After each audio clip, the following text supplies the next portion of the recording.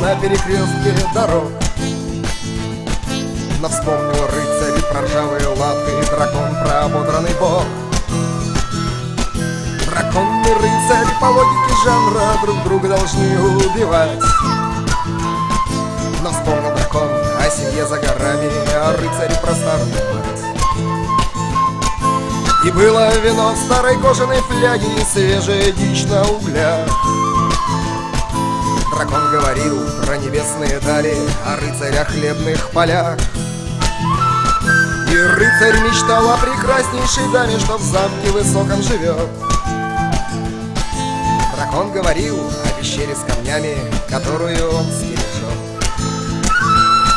Где двое мужчин, там всегда будет драка Но только не в этот раз. И кто пьяный рыцарь, корягу Пытаясь в стремя попасть. Дракон накосевший махал головою Не в силах встать на крыло. А утром прохладно проснулись двое Даруя друг другу тепло. Давай же не будем бить морду друг другу Но хоть ради наших семей. И рыцарь поехал своей дорогой. Дракон полетел своей